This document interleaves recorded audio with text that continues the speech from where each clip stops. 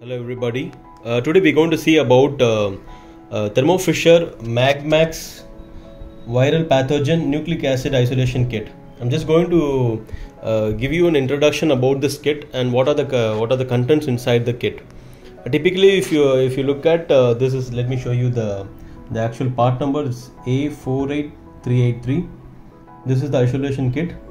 If you can see that Magmax viral pathogen 2 nucleic acid isolation kit typically if you order uh, si- a magmax kit it will it will cover you for 2000 reactions and it comes it comes with five part. Let me introduce all the five parts. This is the first part which uh, which which comes with the binding solution and this is the box. This is the box. So let me open this box for you and pull out um, okay this is it. So if you look at uh, if you look at um, there are if you look at there are um, uh, five five kits in this. You can see that there's the box and uh, the other uh, five kits i will introduce all the five. Look let me take the if you look at uh, the main binding solution kit as one binding solution bottle binding solution bottle. Okay. And also an instruction manual a small uh, a small instruction manual that talks about um, uh, this kit where you can it, gives the instructions about uh, the, where you can download the usage instructions for the magmax kit so i'm just keeping this aside. Okay. If you look at um, okay these are the kits. So you can see the actual of uh, the part one. The part one is the magmax viral pathogen binding solution. This is the part one and it is uh, 550 ml liquid.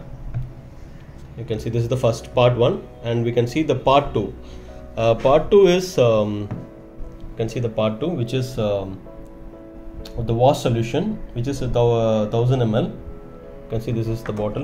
This is how the bottles looks like.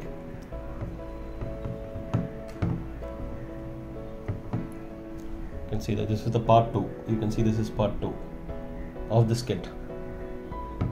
And I'll go with the part three. You can see this is the part 3 I can show you very closer which is the proteinase K and this is the part 3 content of the Magmax uh, RNA isolation kit. And you can see this is uh, let me show you. This is a 10 ml liquid. And I'll show you the part 4 this is the part 4 which is the Magmax viral pathogen elution buffer solution, which is a 1000 ml liquid. You can see this is uh, the kit. Okay, and then uh, let me go for the part 5. The part 5 is the binding beads. So 20 ml uh, binding beads liquid. So if you look at the Magmax, uh, typically as uh, uh, five uh, parts as a kit this kit is completely used for 2000 reactions.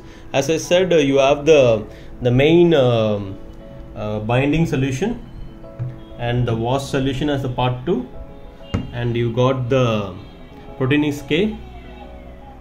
Let me show you clearly. Proteinase k. And you got the elution. Let me show you that where it's written okay let me see here. Elution buffer and the magnetic beads the magnetic binding beads okay. Okay this is the complete uh, uh, introduction about the kit. Let me show you this here. Let me keep it. This is how the total kit looks like. Thank you